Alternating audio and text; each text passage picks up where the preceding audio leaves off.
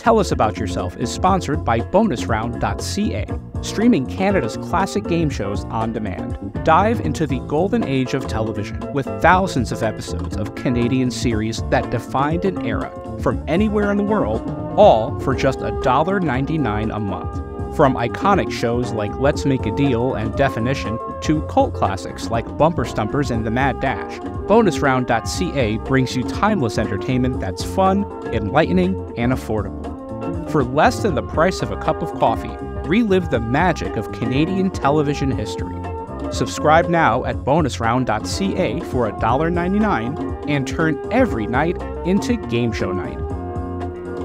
And by The Inn at Leola Village. Nestled in the heart of picturesque Pennsylvania, the Inn at Leola Village is a sanctuary of luxury and relaxation. Indulge in the timeless beauty of their historic suites, each meticulously designed to transport you to a bygone era of elegance and grace. Experience the culinary delights of their award winning Italian restaurant, where every dish is a masterpiece crafted from the finest local ingredients. From romantic getaways to corporate retreats, the Inn at Leola Village offers a haven for every occasion. Unwind at the spa, stroll through the lush gardens, and let the stress of everyday life melt away. Make your reservation today at theinn at leolavillage.com or call the front desk at area code 717 656 7002.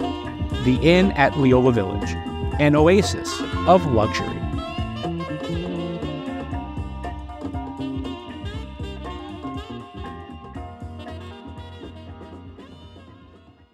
Tell Us About Yourself Conversations with Game Show Contestants is produced in partnership with the Strong National Museum of Play in Rochester, New York, one of the largest history museums in the United States and one of the leading museums serving families with highly interactive exhibits and programs. Since 1968, the Strong Museum has been dedicated to exploring the ways in which play encourages learning, creativity, and discovery, and how it illuminates cultural history. And their National Archives of Game Show History. Founded by industry veterans Bob Bowden and Howard Blumenthal, the archive is home to thousands of artifacts representing over 80 years of broadcasting, including props, set designs, video interviews with game show professionals, and other iconic elements from the history of television at play. For more information about the National Archives of Game Show History or the Strong National Museum of Play, visit museumofplay.org or call area code 585 263 2700.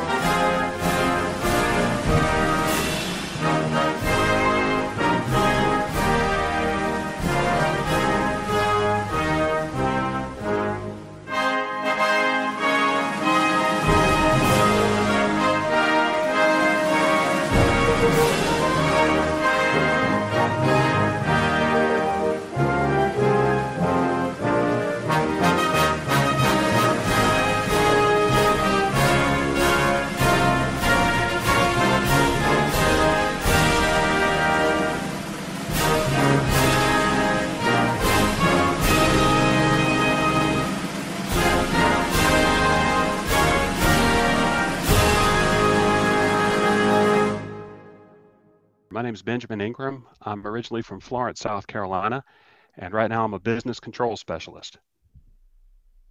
Wonderful. All right. Um, and I'm going to click join. Let's go. All right. Who goes 1st Let's go. Oh, we each have to Uh, roll, right? Or do I? Oh, I I, go on your first. side. Yeah, I just rolled. Okay, neat. Ben, who taught you how to play backgammon? My mom did. Were games important to you and your family? Actually, not really. Um, she just showed me the game one time because I was monkeying around in the cabinet and took out this board with the elongated triangles on it and said, Hey, do you want to learn how to mm-hmm. play? I said, Sure. And she taught me how to do it. We would play Monopoly every now and then, but we didn't have a, a big old cabinet of games, although I had I had always loved games when I was a kid. I was when I was a kid, and when I say kid, I'll say like from the ages of like four to ten. My brother was into action figures and I was into board games. And even if even if I didn't have anyone to play with, I just liked having them and looking at them and like setting them up. And once in a while I'd have a friend play. But really I just Yeah. liked having them around. Is that like true to your experience as well? Yeah, I was exactly the same. I got a younger brother, and he was into Ninja Turtles and real Ghostbusters and all that kind of stuff.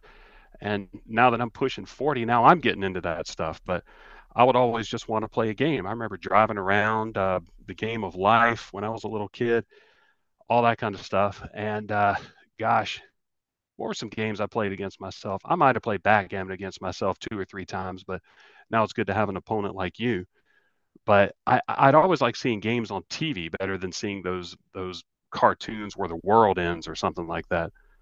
Sure, yeah, that always spoke to me more than like cartoons and stuff as well. And I'm, you know, we're more or less like, kind of in the same age bracket. Um, but I remember like the cartoons of like the '90s, and they were all very like hectic and loud, and you know, oh, if you were lucky, some of them were funny. Like if you're talking about like Nickelodeon, there were like funny cartoons. But other than that, and like The Simpsons, you know. But I just Yeah, game shows always spoke to me more than other forms of entertainment. I think because I loved learning and I loved games and I love all that. Was that true for you as well? Were you like a big game show kid? Yes. Uh, the first one I ever watched was Press Your Luck. I remember that distinctly. And you know what what better could a three-year-old want? You know, there are a lot of flashing colors, there are a lot of happy people, there was a lot of excitement, there was a lot of applause, and then you see a, a, a whammy, a cartoon run across the screen every now and then. You know, if you're three years old, you can't do any better than that. I remember my mom said that I would sit at the supper table going, big bucks, big bucks, and stop, and then slap the table Yep. until she told me to stop. That's But right. I, I, I'd, I'd always appreciated those shows because, you know, everybody seemed to be happy on them. And, you know, some people would win, some people would lose, but everybody would leave happy because most of the people would leave having had a good experience. This wasn't like Masters of the Universe where the world could blow up or something like that. This wasn't Ninja Turtles where a giant rat or a, a brain inside of a cyborg could could threaten to flood the sewers or anything like that. Everyone was having a good time. And it was Oh very yeah. colorful, very loud, very lit, and I, I enjoyed all of them. I enjoyed all of them. Well, I relate specifically to what you're talking about because Press Your Luck was it wasn't the first game show I remember watching. There were a few before that, but it was definitely the first one um where damn, I rolled double sixes. Uh I yeah, let's happens. go. Let's go. Um it was the first show that I remember being a fan of. Like before I could identify what that meant. I, that was the first show I like looked forward to watching. Like it just stayed in my head for a lot of the same reasons that you're describing. Like it's it's it's it's like all the base nutrients, right? It's like excitement and it's laughter and it's like cartoons and it's lights and there's like a hand-eye coordination kind of video game thing happening with the button. Like it's just everything. And yeah, to four-year-old me, that show was it, it just it really spoke to me and it really kind of showed me like what game shows can be. You, you, you can't beat that. And you know what? During uh, a recent illness that I had, my brother brought me a little toy whammy. And I took it in there with me, and I was like, well, I, I hope this sucker didn't take all my money, but I guess he's not because he's in here with me. But uh, that that did mean a lot. He he remembered it. He remembered. Gosh, but all of those shows I appreciated. What am I doing wrong here? I rolled and I can't move my pieces. Can't you? Oh my god, Oh, because you- I'm captured. I did not even realize it. Yeah, you gotta you gotta Did not even down. realize it. There we are. Anchor there up. we go. Okay. And then I do that and now I got you. All right, cool. Yeah, you got me back. There we go. No, I just fan. I can't move. Is there an optimum strategy? Because I feel like this game is so open ended. Like you can go so many different ways, and there are so many ways of attacking like the goal of getting your pieces from one side to the other. Yes. Like how do you Uh, go about it? How do I go? I first of all, I wait for like the first two or three rolls. I know what to do on that. And if it it depends. It depends on how I'm set up. You know, it's kind of like chess. Some people a- adopt an attacking formation. Some people adopt a slow game. Uh, there's a lot of strategy in it, but there's not really an optimum because so much of it is based on the dice. I, I think that's what I like about it. it. It's very, very dynamic. You can have an 80% chance of winning, and then you don't win. So th- they say it's the cruelest game. They say it's also the sexiest game, but then again, you you and I are playing it. That's So true. Yeah, that's that's out the window immediately. I remember reading that backgammon was a big fad, like in the '60s. Like Hugh Hefner popularized it. It And they would- was, and yeah, they would play it yeah. like at the Playboy Mansion. Yeah, and th- they had a club in Los Angeles called Pips, and I think Lucille Ball bankrolled it. And a young man who was just he came down from Canada, and I think you know where this is going, but he went in that club see if he could play and just got trounced by Lucille Ball. But Lucille Ball became a friend and a mentor of his, and this was around the time he was doing Wizard of Odds, and I think it was Mhm. just before he did High Rollers. So That's I think you know who I'm talking about. I know exactly who you're talking about, and I seem to remember that Lucille Ball stayed a fan of Alex Trebek for a long time. Even into High Rollers, she would come and surprise him on the set once in a while during tapings. I wish she would have come out and actually played the game. But Oh, right? Wouldn't that be incredible? yeah, win some casharoo while while we're at it. That's right. That's right. Um, tell me about Alex Trebek as he relates to you. Before you got a chance to become a contestant on Jeopardy and meet him and play the game, um, what did he what did he represent for you as a young person who liked games and liked game shows and I, I would assume also had a, had an appreciation for trivia. I I think I had an appreciation for games before I had an appreciation for knowledge. And that was because the majority of the games that were on when I grew up in the 1980s, and I think this is also true today, when something good happened, you knew it. People would applaud, they'd flash a light, they'd ring a bell, some like the scoreboard would change. When something good happened, people knew it. And at 7:30 at night, when Jeopardy came on, you knew that was out the window because you get a correct response, they change the scoreboard, you go right back into the game and pick another clue. So I knew that this game was pretty serious. But Mr. Trebek kept such a, a very, very affable and classy air about it that even as a little kid, I did not feel intimidated. The atmosphere was very intimidating, but it was very friendly. And I knew even as a little kid that watching this very, very difficult show, I felt I had a friend in Alex Trebek. And I think everybody who watched felt the same also. Oh, for sure. And that's what came across um, to me when I was young and watching Jeopardy with my family as well. That, and, and maybe it's because I really enjoyed school.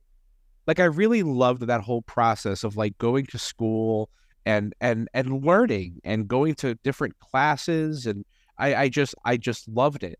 Um, and so to see somebody like Alex Trebek on TV who was like authoritative yet friendly and intelligent, you know, that's like he was like he embodied the qualities I think of a of a teacher that I would want at that age. You know what I mean? Somebody who can give you an appreciation for 19th century literature or or or or 1970s football. Do you know what I mean? Like there's just so many different Yeah. categories that come up in the course of a show and he presents each of them with such confidence and such authority like that you know i don't know there's like like, uh, there's a meme that's like if i um, if i were to go to school i wish these would be the teachers and this would be the subject like all of that would be jeopardy do you know what i mean like to me that's just like the Oh, yeah. perfect format for learning you know Yeah, and when when Trebek looked authoritative, that was genuine. I think he had a, a genuine appreciation for knowledge. Uh, it- it wasn't just a persona that he brought across on the show. It was very, very genuine, and I think that's proven out by. I mean, if you watch him in the '70s, there was a question I think on that High Rollers drunken episode. I don't think he was drunk at all. Uh, some people say he was, but he wasn't. There, there was something about William Howard Taft. There were and nobody got it. And he was like, "Was he the president who got stuck in the bathtub?" And like one person laughed, but he knew it. I don't think that story was true, but uh, Trebek thought it was, I, I, I guess. But I think he truly loved. It, it, it was a perfect fit with Jeopardy because he truly loved the game. He truly respected it. I believe he respected the players of it, and I think that came from a genuine desire to be a lifelong learner, which he most certainly was. Yeah, absolutely. And that's something that he also um, something that he kind of trumpeted when he did interviews about the show and about especially during like the Ken Jennings era where everybody was fascinated with, you know, how many is he going to win? How how does he know all that stuff? You know, he he he made no secret of it that the trick is to read as much as you can about anything. To even if you don't find it interesting, you know, just the act of ingesting information and having it ready in your brain, like that's what makes that's what makes a good Jeopardy contestant. I mean, it, it does that fit at all into the way in which you prepared to be on Jeopardy? Like, how did you how did you get to that point? How did you study for that? Uh, learning stuff that I did not want to learn. I'll admit I did not start doing that until I realized, oh my gosh, I've got a chance to be in the tournament of champions. You know, I, I got the call. I, I I had always been interested in the things I was interested in, if that makes sense. Sure. And you know, what are those? World... What are some of those things that you're interested in? Oh gosh, we had a big World Book encyclopedia growing up. You know that green and beige uh, set of volumes. Right. Uh, I would just thumb through those. I, I think I was mostly interested in geography and in history, a little bit in mathematics, maybe a touch in science, but I just like things that could tell a story and they could easily relate to other things. And I also like looking at maps. you know, we had the, uh, the the placemats with the U.S. map, the world map, and all that kind of stuff. I still go back to that. I think of Colorado as yellow. I think of South Carolina as green. I think of Georgia as kind of a light pink. Uh, I, I, guess that's how I, I learned these things. I know that Monica wrote a paper about that recently. Uh, I was not a part of that study, but the way people remember things in a weird way, I think describes me pretty well. And so when I tried out, actually, my wife made me do it. She said, take the test. I had taken it once before, uh, but this time I took it and I went out there just saying, well, there's no real need to study because there's hardly a chance that any of this stuff that I'm learning is going to come up. But I went out there and I got the result that I did, which I did not expect. And then they said, well, we'll see you for the tournament of champions. I said, oh, grand and good. And then I see the other players come on and start playing very well. Jared Hall, Terry O'Shea, uh, Sandy Baker went on there and, and, and won a lot. And of course, Arthur Chu and Julia Collins. That motivated me more than anything else. I felt like such a mercenary, but that motivated me. And I learned about, uh, I, I'd always been interested in classical music, but not opera. And I took up opera, and that's a good subject to learn because you get a lot of bang for your buck. They don't ask about too many operas on the program, but if you learn them, then you'll have them. So it's a small investment in time, but it can pay off big rewards. My worst category was visual art. I think that later became a strength. Uh, literature is still pretty bad, uh, but it got a little bit better. I try to get good at like, you know, today's music, today's television, today's movies, today's comic books, all that kind of stuff. Uh, maybe I just still live in the past, but I, I, I didn't get very good at the popular culture type stuff. But what I learned served me well, I believe, on the program, and it served me well in life. I, am now very, very interested in visual art and sculpture and painting and music and all that kind of stuff. So I feel very enriched beyond just the results that I got from television programs. So, in a way, my education is just beginning. That's a wonderful way of looking at it. I, you know, what's funny talking about um, popular culture and trivia. I got to interview David Madden a few weeks ago, and he's heavy into the academic competitive quiz scene, and he puts on uh, quiz bowl competitions all over the world, travels the world doing it. And we were talking about the sort of pantheon of trivia, how there are these commonly accepted blocks of information that make up that you know that manual of like what to know as a professional quizzer what to know as a as a as a quote unquote good trivia player. And we started talking about what would make it in these days and why some things haven't been how, why some subjects haven't been as accepted as others. And i think if i were to rephrase what i was asking him i think i would want to know at what point do things like hip hop music or video game history, at what point do things like that, which are very popular, enter that pantheon of knowledge? Like, at what point is that as valid as the Great Lakes or the great operas or uh, you know, Academy Award winners? You know what I mean? Like, at what point is Oh, that yes. worth knowing? Like, when when do we get to a point where that will come up with some regularity? Gosh, first of all, it depends on who's running the game. You know, some people think that Shakespeare is more important than V.S. Naipaul, when that's not necessarily so. I believe that they're equally important in, in terms of literature. Uh, some folks think that Fidelio is more important than Einstein on the beach, but to me, they are equally important.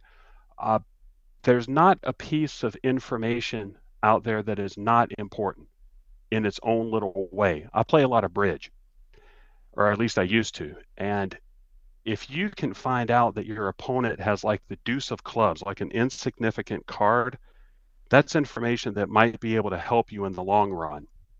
So, as far as when people might start studying like hip hop and all that kind of stuff in a university, well, of course, that's happening now.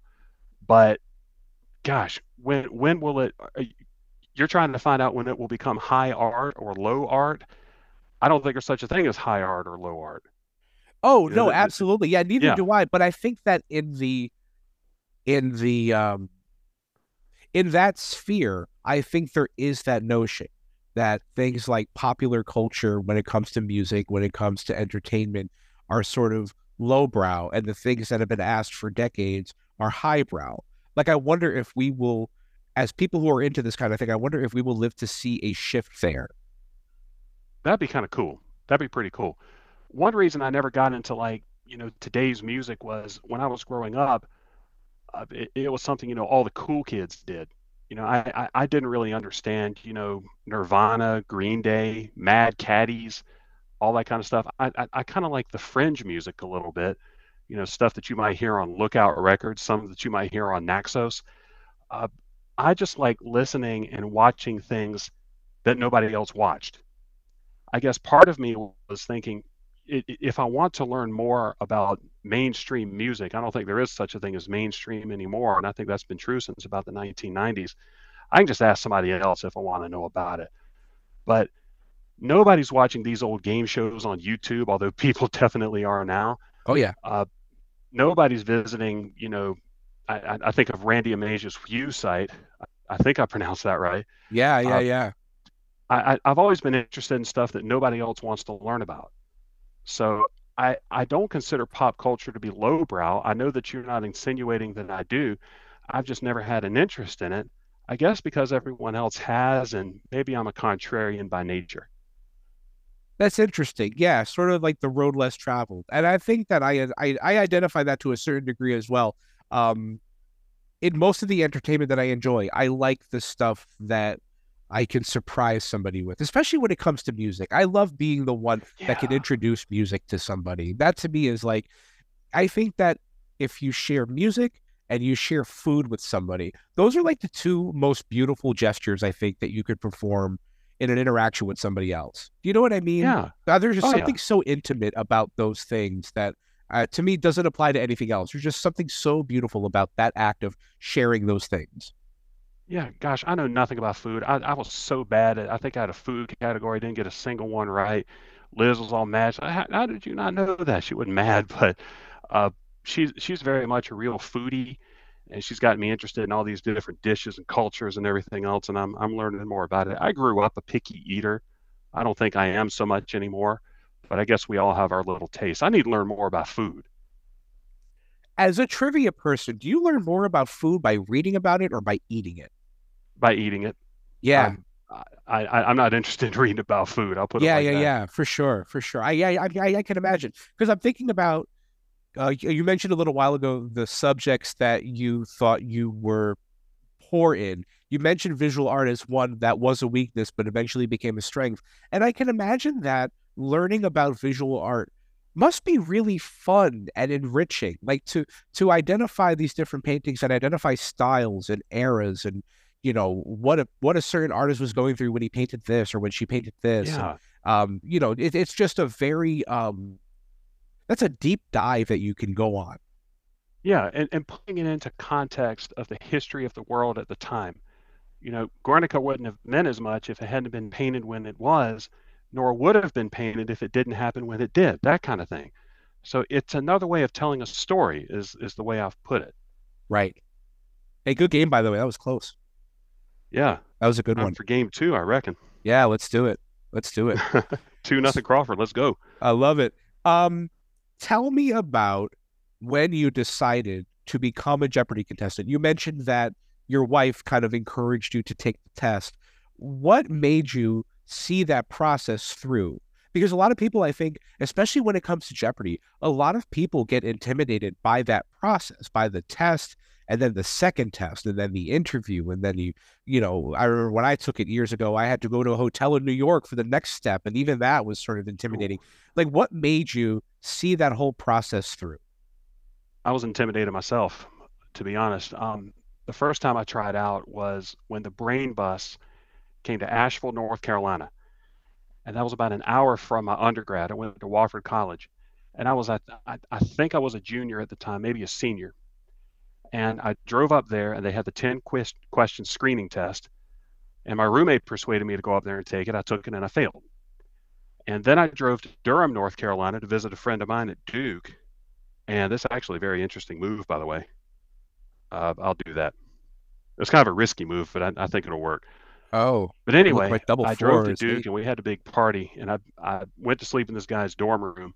I woke up next morning and uh, the sports report was on, and it said Pacers this, Pistons that, final with 50 some seconds left. I, I was, how could it be a final with 50 some seconds left? And then the clock tick over to something o'clock, nine o'clock, 10 o'clock, whatever it was. And they were like, here are the headlines.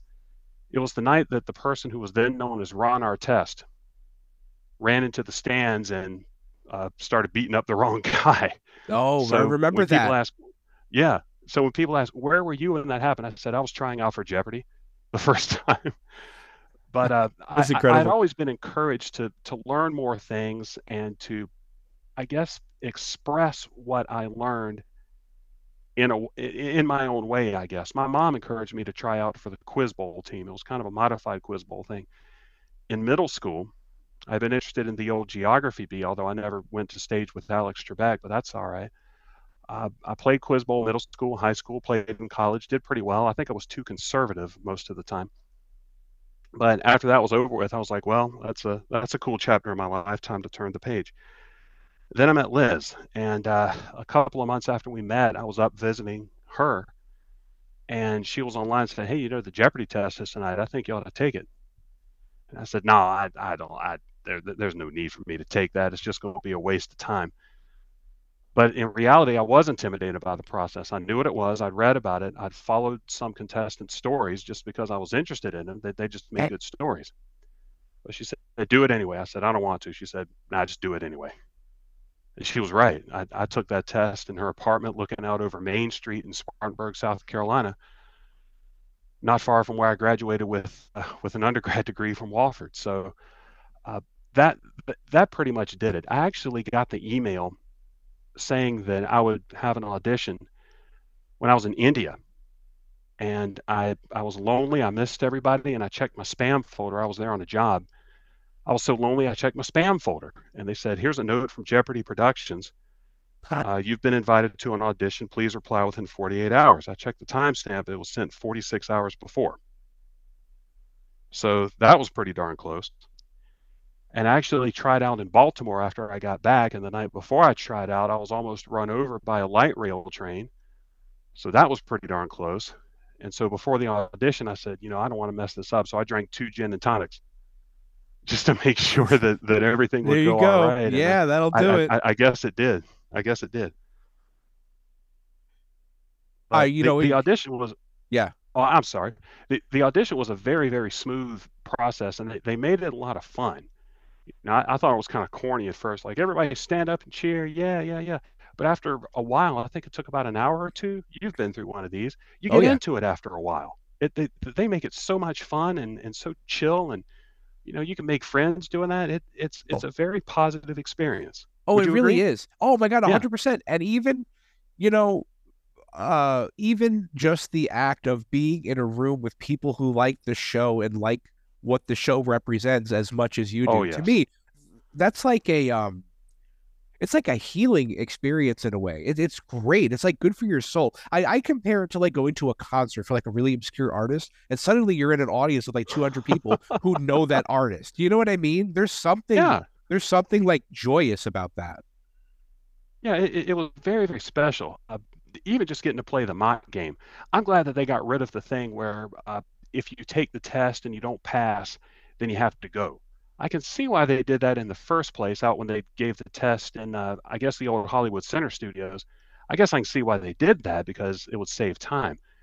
But they don't do that anymore. It, it's it's very, very positive. At least I was when I auditioned back in 2012. It was December 1st, 2012. That's that's a date I won't forget. Sure. Oh, I think the process is still very positive. I just went through. I'm, I'm in the contestant pool, and actually, as soon as you mentioned the thing about checking your uh, uh your spam, I picked up my phone and checked mine. Any Um, luck? No, no, no. Maybe Oh, maybe next time. Yeah, it's all right. I'm I'm in the pool for like the next two years, but um, I had the last step of my audition back in, uh, was it August or September? I went to SporcleCon in DC, and uh, part of it was was the last step of the uh of the audition. Um, and yeah, very encouraging, very um, I think just a very safe space for people who can easily be very nervous and very intimidated. I was very nervous and very intimidated, but that's when the gin and tonics kicked in. There you go. So- I, I guess I handled it differently than some other folks, but gosh, I enjoyed it. I enjoyed it. Is Jeopardy a sport? I don't believe it is. Uh, when I was out there for the invitational tournament, more than one champion gave me a very persuasive argument that it is. Uh, as as far as a quiz show, it's definitely the best on the dial today, and it's definitely the most rigorous. It's definitely the most difficult. It is definitely the one that requires the most emotional investment, which is something that not too many people talk about these days. But that unfortunately doesn't make it a sport. It, it's a hell of a game. It's it's one of the best games on TV ever, if not the best. But it's not a sport. I just don't see the artistry, the creativity, the strategy that you see in other sports, even like chess and bridge, which are sports. Uh, there is a lot of hard work that goes into it, and it's good to be in good physical condition when you play. But there's not much in the way of strategy, except maybe it's an Amy Schneider versus Andrew He situation, and you know the other player and you can strategize. I was only in one such situation like that. I played a guy named Hunter Sanderson, a very, very, very, very good player. And the first time we played, we got a tie. I underwagered, and he wagered to tie, and I got it right. He got it wrong, and we met in the middle. It was a tie. So we had to play each other again because back back then you were co-champions. You did it all over again, and it wound up being. Do you know what a shore game is? Uh, I can explain. I don't don't think know. I do. Yeah, if you could. Yeah, you know what's funny? Sitting watching these games uh, for the invitational tournament, I'd be watching and be like, "Oh, that's a shore. That's a Stratton. That's uh, that's a two thirds." The other players wouldn't know what I was talking about, but they knew exactly what to wager in that situation. I guess I learned it differently. But anyway, a shore game is when first and second are pretty close, and third is a little bit farther behind. The second place player might wager short in order to keep the third place player locked out. And that's something that has been bantering around the message boards as well as some of the websites uh, for a long time. The fellow who came up with his name, Bob Shore. So I had a $200 lead over Hunter in first place. He was in second. Karen O'Donnell was in third with a, a certain amount, that- which was less than half of Hunter's. So what I was thinking was, well, what's Hunter going to do? If Hunter makes the book move, he will wager small and try to lock out Karen in third. If he wagers small, then I wager small, and then I can lock him out. You know what I mean? Right, right, right. Wait, what the hell was that? Oh, you timed out. You timed out of our game. What I'm down. Oh, that's Well- okay. I don't mind. And Just just Oh. talking about it. Wonder what our rating was.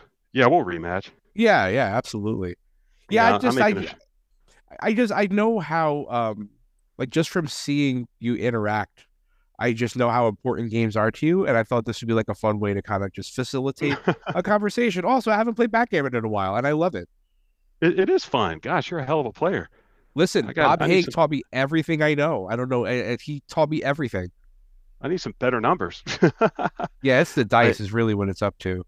Oh, you got that right. That's for sure. But anyway, uh, I, I, I digressed way too much. So I had a small lead over second. Second had a big lead over third. I'm pretty sure that Hunter thought that I would believe that he would wager by the book because I knew he was a good player. But then again, Hunter knows I'm a good player. He knows that I will believe that he will wager small by the book, so he might wager big. So I didn't know what this guy was going to do.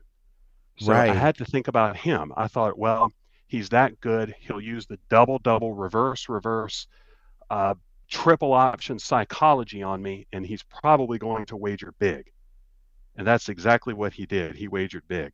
It is, yeah. I'm I'm looking at it right now. So you at the at the beginning of Final Jeopardy, you had sixteen thousand. He had fifteen thousand eight hundred. Um, and your category was Saints on the Map, which for a trivia person, Oh, for you, you know, for trivia people, that's a pretty. I mean, that's a gimme, right? Because we're talking. Okay, in population, it's the largest U.S. city with the same Spanish name as a current Western Hemisphere capital. It's a little That's a bit of a brain teaser. Yeah, it's a little tough, but to me, geography is one of those things that, like, if you're going to become a Jeopardy contestant, you have to be so solid in your knowledge of the map. And you talking Okay. about how much you love maps. I mean, I, I imagine that was that was probably a, a, a, a strength for you. It, it was indeed. And most Final Jeopardies are about geography, history, literature, maybe a couple of Oscar winners in there, the, the, the serious stuff. And they require just a little bit of lateral thinking. And maybe I just think weird that way, but that, that might be why it played into a, I'm not going to call it a strength so much as a saving grace. Because in the original games I played, I played nine of them. Let's see, two of them were locks. And in six of the remaining seven, I had to get Final Jeopardy right to even have a dog's chance. So I would definitely call it a saving grace. And he did exactly what you said. Yeah, he bet it all. Yeah. And yeah, you bet just And enough to I- win by a dollar. Yep. I won by a dollar. I had a $200 lead, which is a Jeopardy quantum, or I guess maybe $5 is a quantum. And I wound up winning by a dollar. But that was really the only strategic thought that I had. Uh, one thing about people calling Jeopardy a sport, I, I, I know that, that Mr. Davies wants to call it a sport. It's definitely the closest game show to a sport. But to me, it, it seems like that might intimidate some folks saying, oh my gosh, I'm on here playing a sport. Yeah. that makes for very good television but gosh i just think about the emotional aspect of the game. You know it, it, it, it, it's pretty darn tough to be up there. I don't care how many times you've played the video game i don't care how many episodes you've watched when you're up there on stage something different happens to you. It definitely happened to me. And i don't know how i was able to overcome it but it's interesting because in the first game I was sweating like a pig. They they gave me they give you those little half pint sized bottles of water just to kind of wet your whistle between the commercials. Sure. I downed every last one of them. I, I must have drunk a gallon of water those first five shows when I was up there, because I taped Monday through Friday, and then Right, it- right, a whole week's worth of shows in a day. I never got tired, but I did get very very thirsty, and so the makeup uh, mistress said, you know, pat yourself down with this between the commercials because you're starting to glisten a little bit. I did not take her advice. I, I I just had to handle it my own way. But it is intimidating up there. I can I can assure you of that. No matter how many times you've done it. Oh, and I've never been on Jeopardy, but I've been in similar situations where, yes, no matter how much you watch the show, no matter how much you practice, you you you you play the game, you play the home game, nothing can prepare you for that. Um, well, I think the only thing that can prepare you is if you have some kind of background in public speaking or being on stage. Like I was a theater kid all throughout high school and it shaped a lot of my personality. It shaped a lot of my desires and my goals and my ambitions, but it also when it came time to be a contestant on a game show, um, I was attuned to that level of performance already. Do you know what I mean? Like that to Oh, me, yeah. and and I think about that era of my life is like I really credit those years, like in theater workshop, as giving me a lot of the skills that brought me to wherever I was fortunate enough to be taken later on in life. I feel I- like I- I that's the think so, only thing. Yeah, that's the only thing I think that can even come close to preparing you for that type of, of performance. Did you have that at all? Did you have any kind of anything that would sort of uh, foreshadow uh, an opportunity to perform or be like the guy on stage? I did do a little bit of children's theater. I didn't take that into adulthood. I tried to sign up for it in college, but it was full. So I took music instead to, I think, my everlasting credit, uh, because it opened up a whole new world for me, not just as a quiz show contestant, but just period. So I'm, I'm glad that that happened back at Wofford. Uh, I haven't really been on the stage since then, but I did marry a theater major who is now a nurse. And those two professions are, are rather similar in a way. So I do Ooh, I would love to know folks who- how. Huh. Well, gosh, she could probably tell you better than I, but you know, when you're on stage, you have to communicate an idea to someone in a in, in- in sort of a special way that that they'll understand it and they'll appreciate it. When you're a nurse, you kind of have to do the same thing. You don't just care for a patient, you make sure that that patient can care for themselves after they leave the hospital or after they leave whatever setting you're in. And that's something that she's very, very good at. And I think that comes from a theater background as well. Interesting. Yeah, And there's I also could definitely. vulnerability as well, e- even in the profession. There, there, there very much is. Sure, sure. Oh, you have to be. You have to be. As a nurse, you have to be vulnerable, and you have to be. um Oh God, everything that you said. Yeah, I can see those parallels. That makes total sense.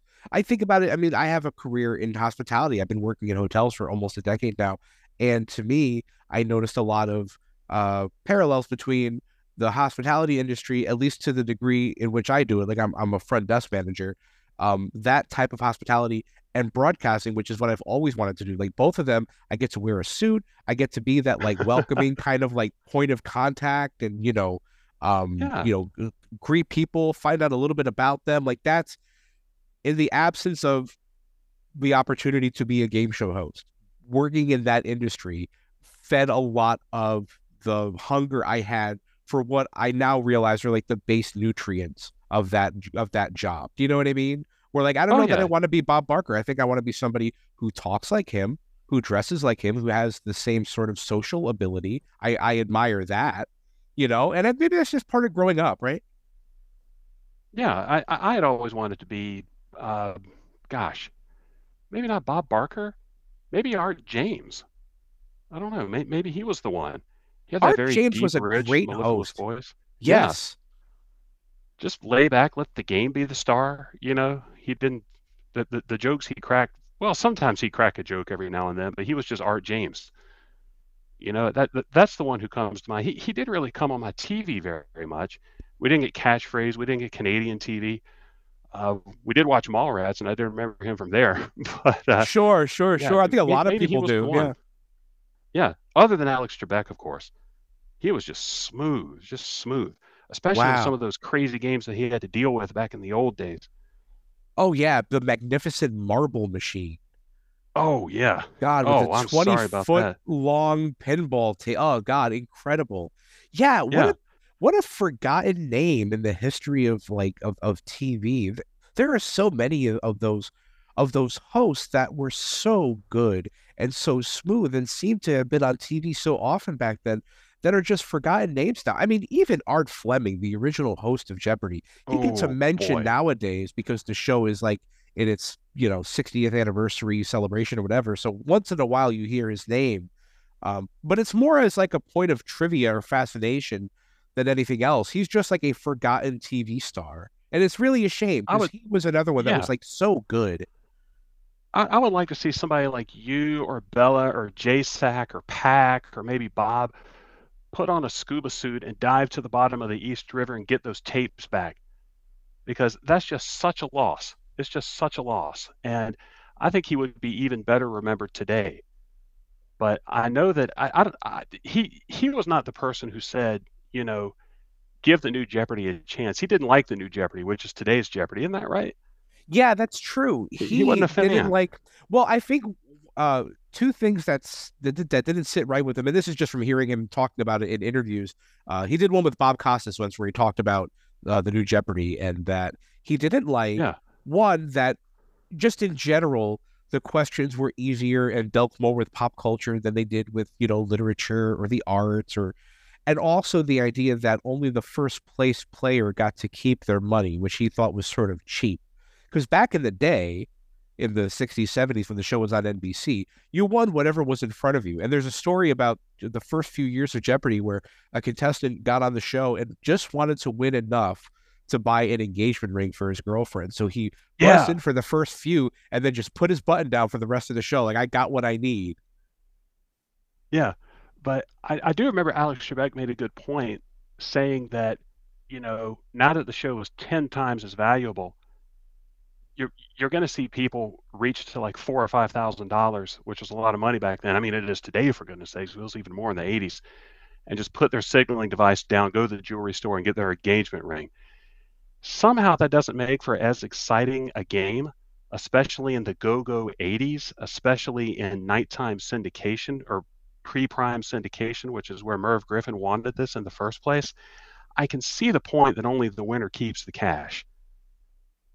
Yeah i think i It do does make too. for more interesting theoretical situations too. I interrupted you. I'm sorry. No, no, no, not at all, not at all. But I, but I agree with you, and yeah, I think I'm going to speak to what you were just going to say that it zaps the, uh, uh, the wagering strategy. You're not competing against anyone anymore. Now it's just, you know, how much do you know about the subject? How much are you willing to put forward? And it takes out that, uh, like the interpersonal, like the competition of it. You know what I mean? Yeah.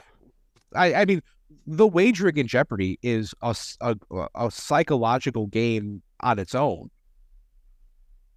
It is if you're in a two-thirds situation, uh, or definitely in a shore, or maybe in a Stratton or a legitimate choice. I think that's where the artistry comes in because I think of strategy as being, I, I think it was General Marshall who wrote that a strategist has to weigh the forfeits all around the circle. In other words, if you're playing like Twilight Struggle, you can make a play for Afghanistan or try to shore up South Korea. You can't do both at the same time Right. if you're playing defense in football, you can uh, go back into quarters coverage or you can engage eight. You can't do both at the same time. If you're playing backgammon, sometimes you can spring a back checker or you can make an inside point. You can't do both at the same time. And what decision do you make with limited resources? I think that's what strategy is. I guess that comes into play in Final Jeopardy, but most of the time your decision is made for you, especially if you assume that the person in the lead in a very small lead, like two thirds or, or, or greater, uh, is going to make the shutout wager. But not everybody does. I knew Drew Horwood did not. He had that sixth sense. He, he was in the, the 2014 Tournament of Champions. Uh, he won eight games, but he didn't win that much money. But he had that sixth sense: when to wager two dollars, when to wager four dollars, when to, uh, you know, when to go short, when to go long. He knew when the tough categories were going to come up, and I think he had a very good card sense about his opponents. Colby Burnett has that too. We saw that in the decades. There are other players like that as well. Uh, maybe if I played more like them, I would think this game were more like a sport. But I just didn't have that. I was like a bull in a china shop. I would just make the same wager every time. So I think I'm a pretty predictable player. I, I don't think I'd make a good um, a good bridge defender, in other words. So maybe that has something to do with my opinion about whether this game is a sport or not. I'm starting to rethink that now. Well, it's funny because I'm starting to rethink what I'm feeling too, because it does seem to me that it has the qualities of a sport in that there are statistics and there are, you know, there are there are strategies that I think are both physical and psychological. And and this is coming from somebody who admittedly knows nothing about sports. So I'm really just sort of identifying what I think, you know, the things have in common. But I think that you raised some great points too. There isn't that open-ended ability to um, uh, uh, uh, invoke a strategy the way there is in something like chess or something like you said, like backgammon. You know, there's really one way to or skin even a cat. and- oh yeah. Oh, even password, even something like password, which I think password and pyramid are closer to sports. If we're going to talk about game shows, are closer to sports than Jeopardy is. And I think even I, I, think would might be right. I would say especially pyramid because in Jeopardy, there's one way to skin that cat, right? You get the clue, you give the correct response, you move on. That's that's what you do. There's no clever way to do that. There's no, like you said, artistry involved in getting to that point. You either know it or you don't know it, and now we're moving on to the next.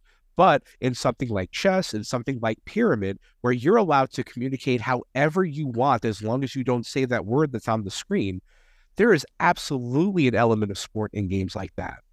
Yeah, and sometimes it pays to break the rules, if you know what I mean. It, in Jeopardy, it's not a circle, it's a line. You have one goal and one goal only to try to outscore your opponents to get into a good position into Final Jeopardy. That's it. And you don't have to make any sacrifices in order to do that. You have to work hard to prepare to do that, but you don't have to. Some th- th- there's no occasion where getting one wrong on purpose helps, except if you get into a lock tie and then the games don't tie anymore, so that doesn't matter. So there's no time to break the rules, make a make sort of an off the wall play. There might be in password because in the old Allen Ludden version you couldn't pass. So you might give a rotten clue for the first clue and then try to pick it up on the eight point clue. I That- like the, that- that's I- something that you see every now and then.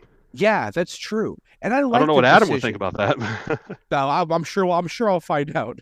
Um, yeah. I like that decision to pass or play because it adds like a like again a psychological element to the game. Do I think my opponent will get will guess that word, and is it worth gambling so that I get two clues? I think I'm thinking of it in password plus terminology that if you pass and they get it wrong, you get to give two clues for it.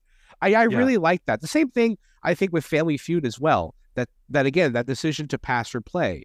I, I think that Mark Goodson introduced that concept into a lot of his into a lot of his game shows. It's a very interesting conceit. Do I think my opponent can do it? It's in Password, it's in Family Feud, it's in Card Sharks. It's you know that that pass or play is very um a simple decision with a lot of very um damn I have three seconds left on my clock.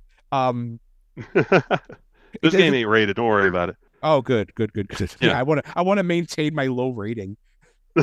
um yeah but yeah but it's a simple decision with very far-reaching sort of consequences as far as the game is concerned it's really interesting mechanic yeah, you see it in bridge sometimes too. You know, you make a sacrifice or you just let them stew in their own juice, that kind of thing. right But you know what's funny? Like one Christmas, stuff, I forgot to get my mom a present.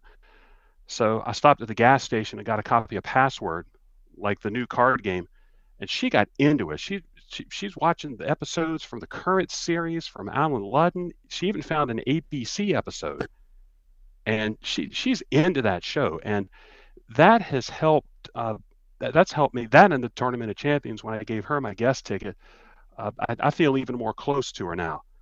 And so that's certainly helped a lot. So game shows bring us all a little bit closer in a way, but she liked the play pass option. She wishes there were more ABC shows that were still on tape. So you got to go find them.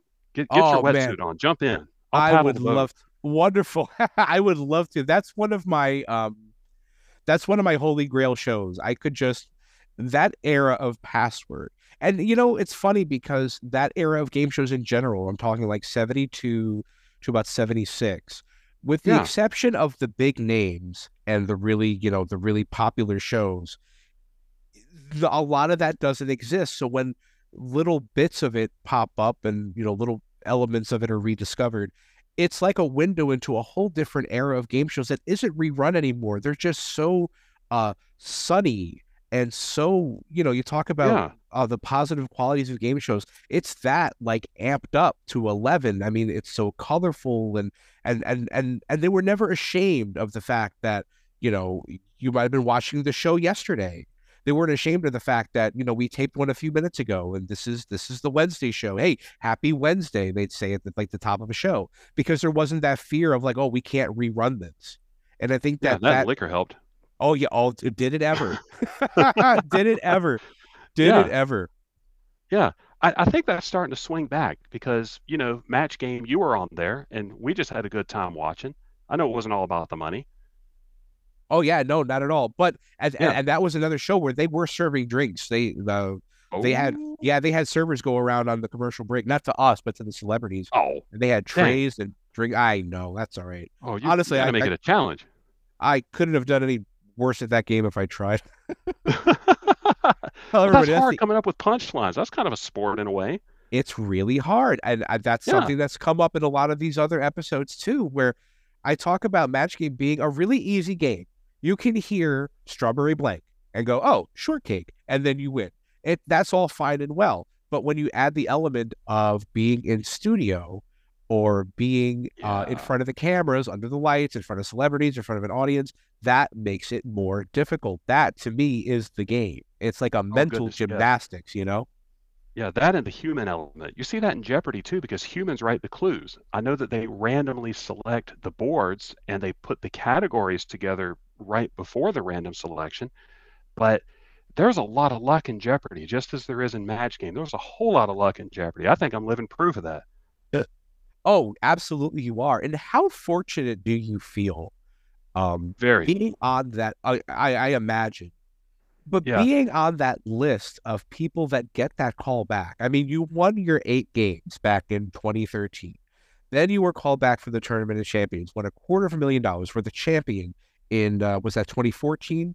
It yeah, was 2014, right? And then you were called back in 2019 as a team captain for the All Star games. Then you were called back this year to compete in the Invitational. Like, how fortunate do you feel being on that short list of players that Jeopardy can call on to come back and play this game that you enjoy and even win a little bit of money? You have to feel so great about that. I do. I, will admit I do. I fortunate is the word. I think lucky might be the word too for a long time, I thought that everything had an explanation and that we could find it. We humans. Uh, I still believe everything has an explanation, but there are some things that we just cannot figure out. You know, the Heisenberg uncertainty principle comes to mind. There are some things that we just cannot figure out. And I go back and I think about all of the opportunities that have been presented to me by this program. And I cannot figure out how I took advantage of them, except maybe like one or two of them. Uh, the final comes to mind. Uh, the the one about uh, FDR and Hoover, not Hoover, uh, Coolidge and Harding and Cox uh, in Game One of the finals of 2014. Right. I just happened to be reading a book about that, uh, just for giggles, and then they asked about that. And something else that was fortunate was that I was so far behind, so I knew I was going to wager everything, and I had time to think about the clue while Arthur Chu and Julia Collins had to think about wagering not only against me but against each other. So it was serendipitous that I was so far behind at that point because I had time to think about it. What are they going to think? What are they going to ask about? It's presidential elections. Who ran the most times? Well, Nixon did and somebody else did. That was FDR. So I had FDR on the mind. And then that comes up. I was like, well, FDR ran against both Harding and Coolidge. That's it. So I, I, I knew that one instantly. But that was just grand good fortune is what it was. I, I, I cannot explain where that came from.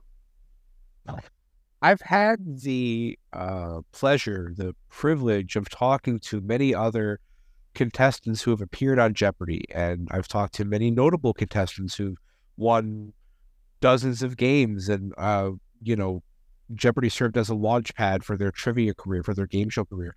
And i tend to ask if that first win gives you a boost of confidence and makes the subsequent games easier. And some contestants have said, yes, it does. Some contestants have said it never gets any easier. And no matter how many games you win, at the end of the day, you're still the returning champion. You're still in that situation. You're still on the set, holding the button, looking at the board, playing the game. That doesn't get any easier.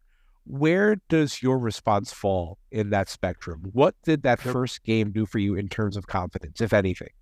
Well, they're both right the games do not get any easier, but you do feel a lot better, especially having gotten the first one out of the way. You know what it's like. You've had 22 minutes of experience, not counting commercials, and that experience is as good as gold. I think that's why champions have such an advantage. You know, the first time I went all there, I was I, I was a nervous Nelly. I was sweating bullets, chugging water, patting myself whenever I could, all that kind of stuff. But the second game, I felt a lot better because I knew exactly what to expect. And you can read all the blogs you, you want, but you never know what to expect unless you have been through it before. So I think that helped. The games did not get any easier. The opposition did not get any weaker. I played against some very, very strong players in my day, but I did feel a lot better as I went along uh, compared to that first game. So that's one advantage the champions have, and that, that's something that just cannot be quantified. Sure, I can imagine that. Yeah, I can see both sides of it. I can see that, you know, stepping on the stage as the returning champion, there is a pedigree there, and it's hard to not feel. It's not hard to. Not, I can imagine it's hard to not feel that pedigree as a returning champion. Um, it, it's not the it's not the pedigree so much as the experience. You know, I was like, oh, cool, I'm I'm a Jeopardy champion. I never thought, oh, wow, I am the Jeopardy champion. I thought, I get to play again. Right. And I just get to play from a spot that's in a, a in, in a different spot than before, a different lectern than before. I never thought, oh, geez, I'm the champion. Uh, I just thought, oh, I get to do it again, and I've done it before. So that experience was worth its weight in gold. Believe me, believe me. Sure. One of the things, and this will be sort of in closing, but one of the things I appreciate about you, Ben, is how gracious you are when it comes to talking about the people you've played against. I mean, you are a very formidable Jeopardy player. You've won a lot and you've been there a lot and you are incredibly intelligent and incredibly skilled at this game. But to hear how gracious you are in describing your opponents and describing the people that you that you that you play with, I, I just greatly appreciate that. And I wonder if you can speak to what Jeopardy has done for you in terms of the social aspect, the camaraderie, the friendship. What has Jeopardy brought to you in that arena? It's not measurable. Uh, gosh, I've made so many new friends, including some very close friends, as a result of this program and as a result of the character of the people who play on it. Uh, I still consider, especially Julia Collins, who was our captain during the All Stars, and Seth Wilson, who was our teammate, who uh, actually was the padre at our wedding. That that meant a whole lot that he came down and did that. Uh, I still consider them very, very close friends, especially. They were my teammates, and we we still keep in touch frequently. I love them. Uh, I married a Jeopardy contestant, although she was on. Uh, I, I don't know if I told you this, but Liz was in the audience, had such a good time that she tried out for the show and she made it on herself. And she made a number of new friends doing that. And I've met the friends that she made and she mine. Uh, it, it's just a wonderful, wonderful network. Jeopardy is a crucible. Being on there requires uh, a great deal of mental fortitude beyond just remembering things, which is literally the lowest form of human intelligence, just remembering things that other people have come up with. But it requires more than that as far as mental energy and mental strength and mental toughness is concerned. It requires emotional toughness as well. I know a bunch of shows require that, match game among them, uh, Wheel 2000 among them, all those. but th- this show's different because it gets so much attention, because it's seen as the premier quiz show, because it's seen as darn near a sport, uh, it really is a crucible. And in a crucible, of course, uh, very strong bonds are formed. And I feel a bond with the people I know who have played, my opponents, my teammates, the people in the invitational tournament recently, and the All Stars, in the 2014 tournament especially. But in a way, I feel a bond with everybody who has ever played the people I know personally, the people whom I've met randomly, the people whom I've reached out to just to say, hey, I remember you, the people I don't know. I think something like 14 or 16,000 people have appeared as contestants on this program. And I feel a bond with every last one of them. And I feel a great deal of respect for all of them, no matter what their finish is. Uh, it's a very, very special experience. It's unlike anything in the world. And one day I think you'll have a chance to do it yourself, Cribs. Oh man, I hope so. God willing, man. United States. United States, man. I haven't said that in a while. You, you know where that came across? I just no. Realized. Tell me. Tell me. Okay, I was giving a talk at the Florence County Library, and somebody asked, "What did you think about Arthur Chu? You know, doing all that bouncing around and everything." I said it, it didn't particularly phase me, but you can pick any darn clue you want. I meant to say this is a free country. It's the United States of America. But I just said you could pick anything you want, United States. I love it. I didn't realize that, that I had said that until I had said that. But you know, just United States. You do any darn thing you want. You don't have to worry about the law. You might have to worry about some blogs getting after you or some mean people on Twitter or other socials. But, you know, in the end, if you play your own game and if you stay true to yourself, then United States. Tell us about yourself.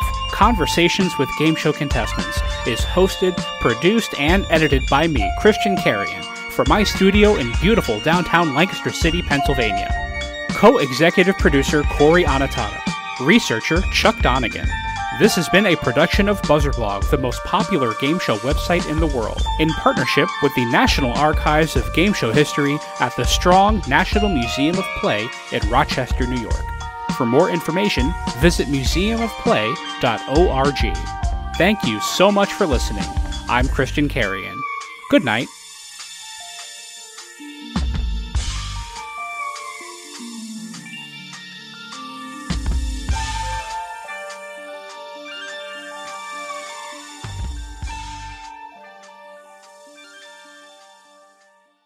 Tell Us About Yourself Conversations with Game Show Contestants is produced in partnership with the Strong National Museum of Play in Rochester, New York. One of the largest history museums in the United States, and one of the leading museums serving families with highly interactive exhibits and programs. Since 1968, the Strong Museum has been dedicated to exploring the ways in which play encourages learning, creativity, and discovery, and how it illuminates cultural history. And their National Archives of Game Show History. Founded by industry veterans Bob Bowden and Howard Blumenthal, the archive is home to thousands of artifacts representing over 80 years of broadcasting, including props, set designs, video interviews with game show professionals, and other iconic elements from the history of television at play. For more information about the National Archives of Game Show History or the Strong National Museum of Play, visit museumofplay.org or call area code 585 263 2700. Tell Us About Yourself is sponsored by bonusround.ca, streaming Canada's classic game shows on demand. Dive into the golden age of television with thousands of episodes of Canadian series that defined an era from anywhere in the world, all for just $1.99 a month. From iconic shows like Let's Make a Deal and Definition to cult classics like Bumper Stumpers and The Mad Dash, bonusround.ca brings you timeless entertainment that's fun, enlightening, and affordable. For less than the price of a cup of coffee, relive the magic of Canadian television history. Subscribe now at bonusround.ca for $1.99 and turn every night into game show night. And by The Inn at Leola Village. Nestled in the heart of picturesque Pennsylvania, the Inn at Leola Village is a sanctuary of luxury and relaxation. Indulge in the timeless beauty of their historic suites, each meticulously designed to transport you to a bygone era of elegance and grace. Experience the culinary delights of their award winning Italian restaurant, where every dish is a masterpiece crafted from the finest local ingredients. From romantic getaways to corporate retreats, the Inn at Leola Village offers a haven for every occasion. Unwind at the spa, stroll through the lush gardens, and let the stress of everyday life melt away. Make your reservation today at the inn at leolavillage.com or call the front desk at area code 717 656 7002. The Inn at Leola Village, an oasis of luxury.